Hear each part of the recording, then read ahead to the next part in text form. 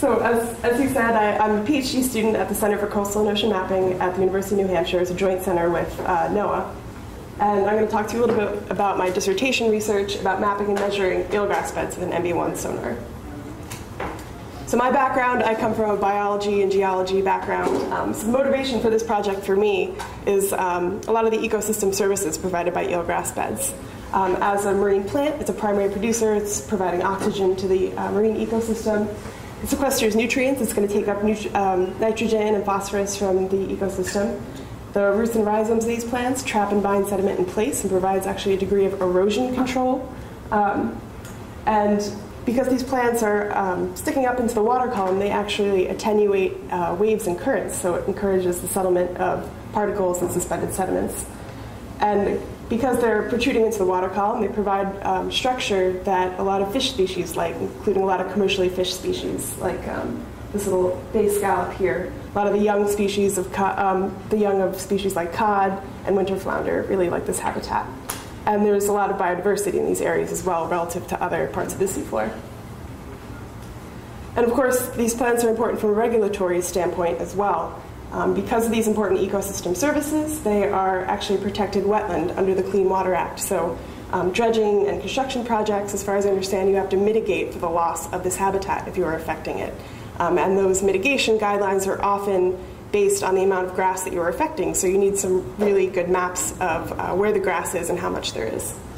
It's also a bioindicator for water quality um, because they're very sensitive to changes in uh, water clarity from increased phytoplankton blooms or suspended sediments, um, they will suffer if you're having problems with water quality in the system as well. Um, and that's the motivation for a lot of seagrass mapping projects in the states right now, including in New Hampshire, where I'm working.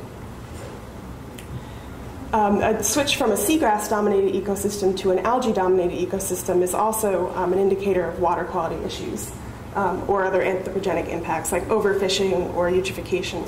Um, so you need to keep an eye on um, if your ecosystem is changing from seagrass to macroalgae as well. And of course, uh, coming from CCOM JHC, I would be remiss if I didn't use um, this in my presentation, map once, use many times. So um, we're, as Harold mentioned, we're going over all these sites with these fancy multi-beam systems. Um, we can collect water column data and ecologists and resource managers might be interested in looking at that data for things like seagrass mapping. So seagrass mapping, how are we doing this now? Um, there's really three main techniques. There's physical surveys, so divers or people walking off the beach um, and laying eyes on the bed. Um, this is the most verified method. You can go out and see what species there are.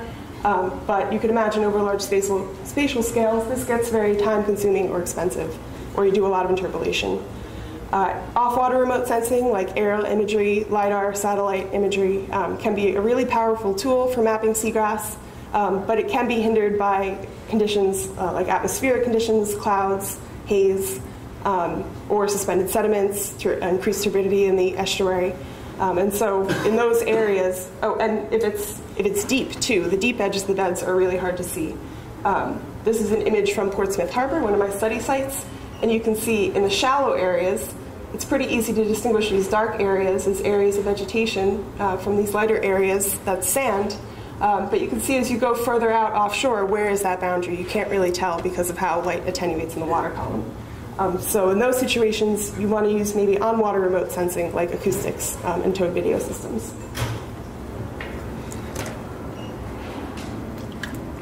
So that depth limit, that maximum depth limit that you have difficulty seeing in aerial imagery is actually a really important measurement. Um, the deep edges of seagrass beds are actually the sort of the front line of change for a lot of these issues with water, uh, water clarity or uh, sea level rise. So you can see the deeper um, vegetation is going to die off first if you have um, increased suspended sediments or phytoplankton because of that pre-existing light limitation there. So acoustics and seagrass. Um, probably a lot of people are familiar with the problem of having seagrass in your acoustics if you're trying to measure the bottom. Um, and that's the reason why these plants are so reflective is because they actually have air trapped in their leaves in these microscopic um, spaces called lacunae. And the air in there has a higher acoustic impedance, so it's going to reflect sound really well. Um, and this can actually, when there's a dense amount of grass, it's actually a problem with bottom detections. It can actually acoustically obscure the bottom or any objects you're trying to find in a seagrass bed. Um, these are two sonar traces from actually the nadir beam of the MB1. You can see when it's bare seafloor, you have a really distinct, narrow, high amplitude peak. In this really dense uh, seagrass here from Portsmouth Harbor, the maximum return actually is somewhere in that eelgrass canopy, and the seafloor is the smaller return at the bottom. So if you're using a bottom detection algorithm that's um, just looking for that peak amplitude, uh, you're going to pick up the canopy and not the seafloor itself. So what I'm doing, um, I'm using the MB1 sonar to map seagrass beds um, because they're so reflective. This is um, a really great system for such shallow work. Seagrass grows in relatively shallow depths where I'm working 5 to 10 meters is sort of the max. Um, it's a nice small system. We can mount it on vessels of opportunity very easily. Um, and we can get this full water column return as well as even raw transducer element data, uh, which is really great for doing um, experiments with this sort of detection. So the goals of the multi-beam mapping I'm doing, the first is to develop a, um, a robust data processing and collection methodology that can be used for detecting these important um, parameters of seagrass beds like that maximum depth limit, the canopy height, uh, the percent cover of the grass in these areas, and a way to distinguish macroalgae from eelgrass, which is also something that's challenging to do with aerial methods. And we want to demonstrate that this method is repeatable and applicable in a range of different seagrass environments. Um, so that involves testing the thresholds of detection in terms of seagrass density, in terms of seagrass canopy height. Um, and we also want to overlap our data with these pre-existing eelgrass mapping data sets to show where um, we might be picking up grass that you can't see in aerial imagery and as a source of ground truthing for our data. So in 2014, uh, we took the MB1 and mounted it on Substructure's boat, the Orion. We used their RTK GPS system and uh, their POSMV. And we visited a couple of different locations throughout uh, the Great Bay Estuary in New Hampshire. We also tested two different transducer mounts. We were thinking in this really shallow water, it might be advantageous to tilt the transducer a little bit to the port side. Um, it turned out that the processing involved in that, the complications it added to processing, didn't really buy us, um, didn't really justify um, the coverage that we were getting. So here's just a couple of example pings from the first mapping efforts. This is a bare ping. Seafloor is a pretty recognizable feature. You also have that side lobe interference, which I'll talk about a little later. Here's a ping with some patchy eelgrass. Again, you can see the, the seafloor pretty distinctly there, and then you see these higher amplitude returns above the seafloor, and that's some patches of eelgrass. And now here's a ping with a lot of grass, and you can see it's really complicated. It's hard to tell where the canopy um, ends where the seafloor begins. Um, so we decided to start our processing right at nadir because this is probably the one spot where you can actually see a distinct return from the seafloor through the canopy. So these are maps made from our 2014 data. The dark green is eelgrass that was delineated from orthorectified imagery um, the year previous, and then these track lines are actually canopy detections from the nadir beam of the MB1. And you can see in this area, it actually lines up pretty well with the orthorectified imagery, with maybe the exception of some erosion of the channels, actually. This is a transect of just um, the nadir beam from the MB1. And the reason why our detections are lining up pretty well with the orthorectified imagery is that the eelgrass here is very limited by the bathymetry. It grows right to the edges of the channels. Um, so it's not coming over the edge, and it was good for us to verify that that's true, that that is actually the maximum depth limit. But in this case, um, the aerial imagery is actually doing a pretty good job. This is another site in the Great Bay Estuary. This is a more open coastal site. Uh, the eelgrass grows a lot deeper in this area. It grows out to 10 meters. Um, it's also a really complex site. There's these really dense, really long um, eelgrass beds. The plants are up to two meters long. Um, but right next to some of those beds, there's actually these really uh, gravelly or bedrock places where there's lots of macroalgae. Um, and we see that reflected in our acoustic data as well.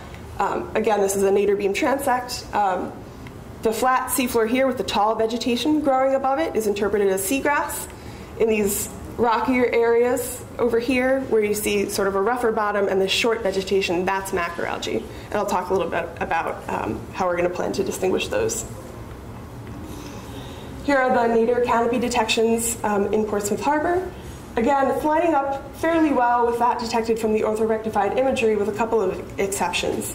So in this bare area, um, according to the orthorectified imagery, we actually were able to detect these short, sparse patches that they couldn't see. And so that was kind of exciting. We were finding these new eelgrass beds that um, they had no idea were there. And we verified that with drop camera imagery as well. Out in the deeper depths, these are actually false canopy detections, and what's happening here is that we're essentially looking at the width of the bottom return to see if there's an eelgrass canopy there, and that's going to change uh, naturally with depth. That width is going to get longer as it takes longer, um, as the rise time increases for that um, bottom return. So we have to normalize our bottom returns for depth or uh, impose some sort of artificial um, limit where we would uh, a maximum depth limit where we wouldn't expect to see vegetation at all. This is the third site, New Hampshire Little Harbor. This was a, a, site that actually the local monitoring agency asked us to check out because it is a really turbid site. Um, and they have difficulty seeing what's going on. It's a mooring field. There's the boats kick up a lot of sediment. There's a lot of bubbles. Um, and again, it matches up pretty well, which we were kind of surprised about. Um, but it also offered a really good opportunity for us is that there was so much other stuff in the water column. In this case, there's a lot of fish schools. Um, do our detection algorithms work when eelgrass is not the only um, feature present in the water column? So in 2015, we took the MB1 out again and revisited those three sites so we can get an idea of the changes that we can detect we also did two transects that were really targeted at areas that were mixes of macroalgae, nuisance macroalgae in particular, and eelgrass to see if we could tell the difference. And we went to a um, additional site where we wanted to see the difference between invasive and native macroalgae species. Um, it's a well understood site. And we went to an eelgrass monitoring site in Cape Cod Bay. So here's the MB1 mounting um, setup that we had this summer on a UNH vessel. This was a kind of vessel of opportunity mounting. Uh, just a simple pole mount attached to the side here. Um, we had the MB1 with the internal uh, motion sensor, so that was really good that it could account for any motions in the pole itself. Um, the only issue we had was that we had to be really careful that we didn't snag any lobster pots, which is a real problem for us. This is kind of hanging out over the side. These are the transects in Great Bay. Um, so the the idea here was to see if we could tell the difference between, between these nuisance macroalgae species that are increasing in the bay with increased nutrients. Um, in the northern transect, there's these distinct patches of the two where the macroalgae is actually just taking over um, areas of the eelgrass bed. And then in the southern transect, it's this really mixed bed um, to see, and we wanted to see if we could see that mix somehow um, in the acoustics. This is the invasive and native, native macroalgae site. This is Nubble Light in York, Maine. It's a really um, popular site with divers, both um, scientific divers and recreational divers. And Jen Dijkstra at the center um, has done a lot of photo transects in this area. And they look really different um, just when you're down there. Um, they have very different morphologies. The kelps are obviously longer, maybe not as long as the kelps we have here on the west coast that I've seen, um, but they're definitely different from this short fibrous red algae. And so we're trying to pull out if we can tell the difference between those two acoustically. Then we took the MB1 down to the Provincetown Center for Coastal Studies in Massachusetts. We mounted it on their survey vessel, the RV Marindin. Um, they have a nice bow mounting system. This is um, bow mount when it's up. They lower it down at the survey sites. Um, and the idea here was to visit this site that the Park Service goes out and monitors every year. They do these really detailed transects that they return to um, they do density measurements, canopy height measurements, biomass. So it was a really good uh, validation data set for us. And it's also a very different environment from that which we see in New Hampshire. It's really short grass, so we're pushing our detection limits. Um, and it's a very dynamic system where you have sand waves migrating through the, the area.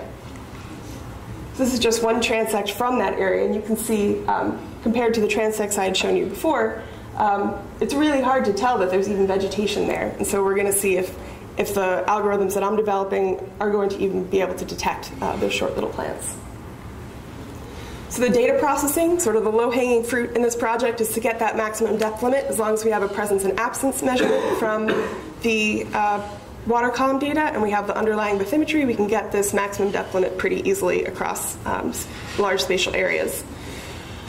And then we can process for canopy height at nadir, and I'll, I'll, show how we go through that. And we can do a percent cover of vegetation by looking at plus or minus 20 degrees of nadir. So this is, um, again, some traces from the nadir beam of the MB1, and these are sort of the three situations that we encounter when we're looking for the canopy. Um, on the left side here, this is sort of um, the worst case scenario, maybe from bottom detection, is that that maximum return is in the canopy. Um, and it's met when it's bare seafloor, you just have one maximum amplitude. And um, the ideal situation on the right here is when you can have a distinct return from the canopy, but it's not the maximum. So how are we dealing with these three situations and pulling out both um, a bottom detection and a canopy detection? Uh, we stack successive pings, and then we filter those stacked traces with a low-pass filter. Um, and then looking at those stacked and filtered pings, we do a um, iterative background noise estimate so that we can pull out just that bottom return, look at the bottom return, and look at just the leading edge. I'll go back and show. Look at just this leading edge where the amplitude first jumps up, call that the top of the canopy, and then the last maximum in that bottom return we call um, the seafloor. And that helps us to get around this situation um, where there is a distinct peak for the seafloor, but it's not the maximum return. I'm not sure how to. So, how do I get the video to work? I can't see it on the screen. Is that, is that a video? Yeah, it is a video. Okay, let's see if we can try this up. Is that running? No. It was running for a second. Let's see. It's running now. See what happens. Oh. Well, this, this is a video going through. It's working Okay, working. we're going through a single line of data here, um, and using those same sort of canopy detection methods that we were using at nadir, So far, we've pushed it out to plus or minus 20 degrees of nadir. Um, and in the beams where we can detect a canopy over a certain height, we say, okay, that beam has eelgrass in it, um, and the percentage of beams within that swath that have eelgrass, um, that goes to our percent cover measurement. Um, and so you can see as we're going through here, it, we have some really tall grass, some short grass, some areas where the canopy detection is right at the seafloor, which means there's probably no grass. So future work, of course, we're trying to push that canopy and seafloor detection out across the entire swath. Um, probably once we get further out um, into these outer beams, we're dealing with that side lobe interference. So I'm working right now on um, doing sort of a, another um, sort of going back and looking through the noise that we discarded before and try to pull out the side lobes from there and filter it out. Um, and that, that should help reduce some of that side lobe noise. And it probably will um, lead to image processing methods as we go further out. We might not be able to look down each beam and see where the canopy and the seafloor are, but we can look at the shape of the return out here as a whole. You can see that the bottom return is a lot wider. That's probably where there's grass. On the left side here, you have this narrower return that's probably bare. So really a shape-based sort of estimate of presence and absence. And then discriminating eelgrass or macroalgae, there's sort of two different situations. Um, in this open coastal site where you have the eelgrass, um, excuse me, the macroalgae really limited to the rocky areas, um, the two parameters we'll be looking at are the bottom roughness and the canopy height. And looking at those, we can probably discriminate which is, which is eelgrass and which is macroalgae. But then when we get further up the estuary where you have this invasive um, or nuisance macroalgae, it's just a lot shorter um, than a lot of the seagrass. So on the right side of this transect, um, you have this short vegetation, and actually that's an area where we have this mat of invasive gracilaria macroalgae, and it looks very different than this taller seagrass that we could map. Um, so in that case, we'll do it by the canopy head itself. And then the layover of the plants under current, this is sort of a, an added bonus. When divers are going out and measuring canopy height, they're looking at the actual length of the leaves themselves. When, but when we're measuring canopy height, we're looking at the plants as they're being acted upon by currents. And they actually um, are bending to accommodate the drag um, of the currents passing over them. And they can bend to over half their, their natural length. And there's actually existing hydrodynamic models that talk about the, uh, that quantify that reconfiguration of the plants under currents. And those have only been tested in flumes, so we're hoping to test those in the field and then use that to correct our data um, for the full length of these plants. All right, that's it. I'll take any questions.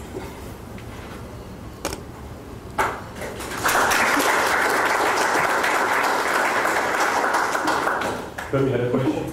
Yeah, um, you, you were trying to find the bottom return in the, uh, in the time series, Yep. and then you, uh, I think you were looking for the, the peaks? Yeah, the bottom peak. at, let's say, the slope of the the leading edge or the width of the return or other type parameters? For the bottom return itself?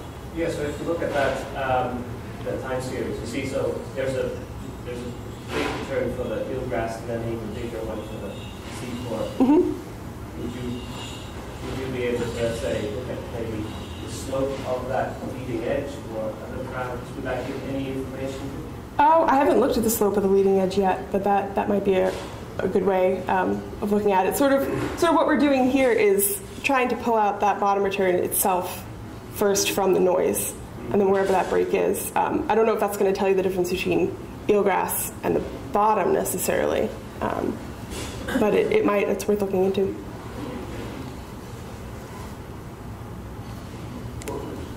Uh, Have you tried also to use uh, something CDEP classification software to verify uh, that what is what is actually uh, second and third seafloor?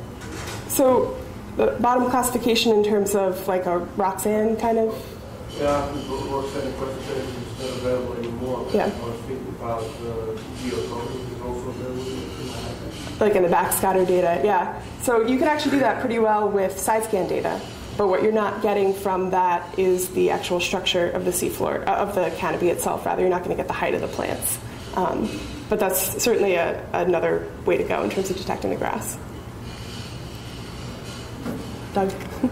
Uh, Did did you guys uh, drop all the way back to the raw data for these? We haven't yet. So So you're using the TDY? Yeah, we're using the TDY files. The raw data, um, that's going to be sort of a side project, is just figuring out if, you know, we increase the number of beams, what does that get us? If we go to really, you know, fat beams, how, how does that change the signal? That's sort of a, another um, best practice question that we want to answer.